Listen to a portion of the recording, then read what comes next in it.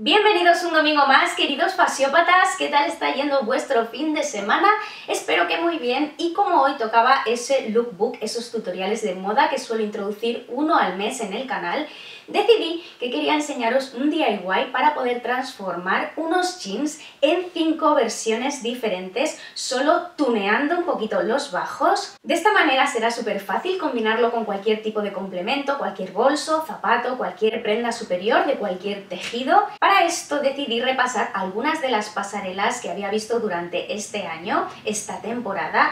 Me he inspirado en diseñadores como Dunduk, me he inspirado también en Junia Watanabe, en House of Y como último y mi preferido quizá ha sido Michael Kors, pero tenía un problema con estos jeans de Michael Kors porque integraban plumas en todos sus bajos tenía un conflicto porque aunque tuvieras esos vaqueros, esos jeans, ¿cómo haces para lavarlos? ¿Qué resultado puede tener meterlos en una lavadora con esas plumas? Así que decidí que estos DIYs iban a ser intercambiables y que se iban a poder poner y quitar a nuestro gusto. Lo he hecho sobre un jeans con el que me hice a principios de temporada, es de Primark tiene un precio de 17 euros, pero es una réplica bastante parecida a los Bermond clásicos, esos que se llevan con un bajo más corto por delante y más largo por detrás.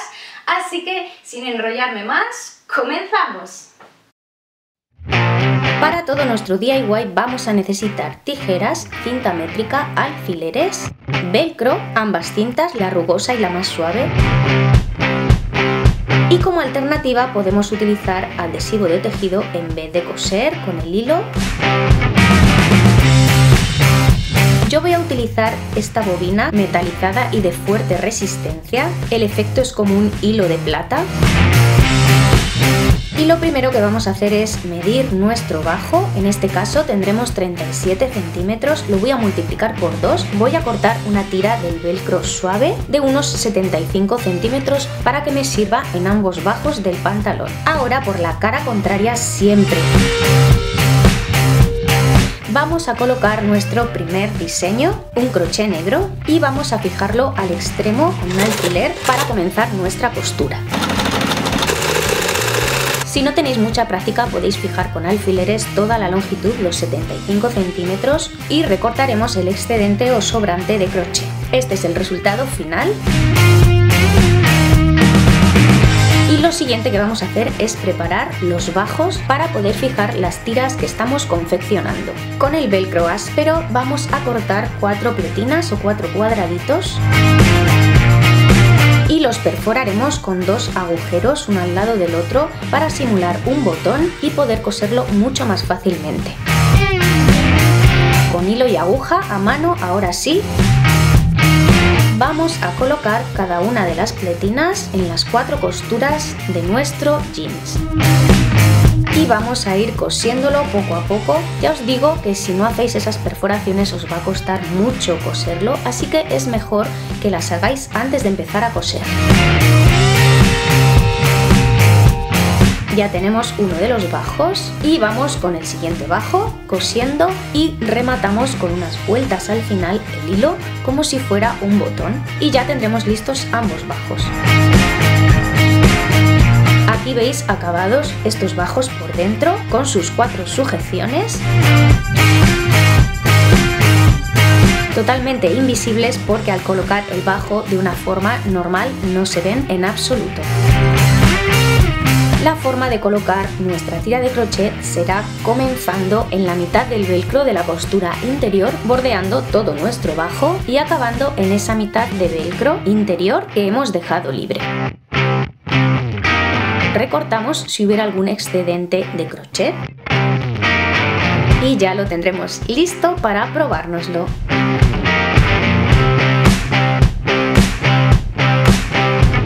Mi inspiración para este look es de House of Holland y he complementado con un look casi totalmente negro a excepción de los jeans, con un zapato ligeramente abotinado con cordones, bolsito negro de asa y camisa gentleman negra. Segundo DIY vamos a necesitar esos 75 centímetros de velcro suave y voy a utilizar una cinta que es de organza, un tejido muy tiesito porque no he encontrado tul y quería hacer algo bastante fácil. Vamos a cortar dos tiras de 75 centímetros también y con un alfiler vamos a fijarla en el extremo en la parte interior del velcro, no en la parte suave. Comenzamos nuestra costura, tras fijar retiramos el alfiler y cosemos la primera tira hasta el final. En el otro lateral vamos a hacer lo mismo con la segunda cinta y así tendremos ambas cintas cosidas. Cortamos por la mitad y ya tendremos preparados los dos bajos.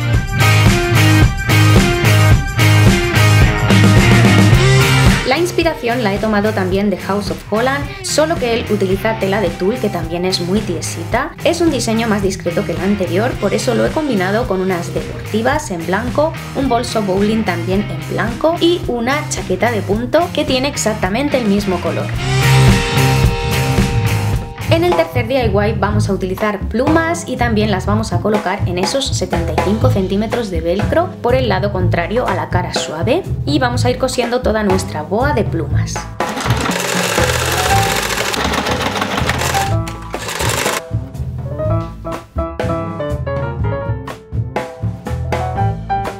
Y de nuevo vamos a dividirlo en dos bajos.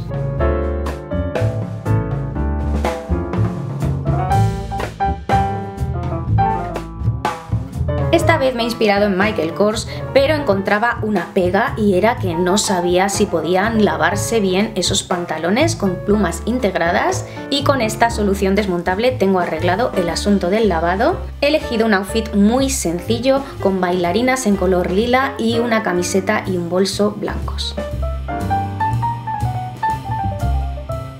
En este cuarto DIY vamos a utilizar flecos y vamos a hacer lo mismo en nuestra tira de 75 centímetros. Vamos a ir cosiendo.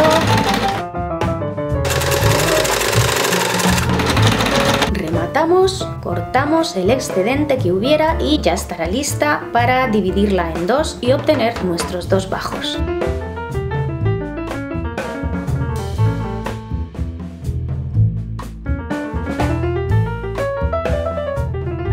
Watanabe es uno de los diseñadores que han integrado esos flecos en sus jeans y yo lo he acompañado con unas cangrejeras de tacón en el mismo azul que el jeans un bolsito de hojalata con avalorios en colores a juego con una camisa de cashmere con cuellos redonditos en negro. Y para nuestro último DIY vamos a utilizar tira de madroños en un rojo muy valentino y también necesitaremos cinta de raso, 75 centímetros al igual que la tira de velcro. Vamos a fijar primero nuestra tira de madroños a la tira de raso y las vamos a ir cosiendo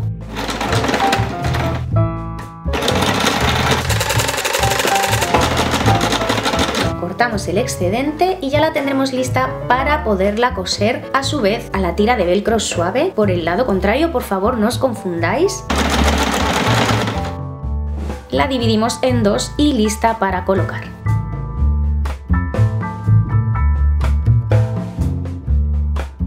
Diseño de jeans inspirado en Dundub lo he utilizado para un outfit en el que mezclo rojos con rosas, llevo un bolso granate también con madroños, camisa rosa de volantes y unos mulés en color muy nude. Todo muy de tendencia para esta primavera-verano. Y hasta aquí nuestro encuentro de hoy queridos fasiópatas, espero que me dejéis en comentarios vuestras críticas y vuestras sugerencias y ya sabéis que yo os espero muy muy pronto aquí al otro lado de vuestras pantallas en Fasiopatía. Que tengáis una semana maravillosa.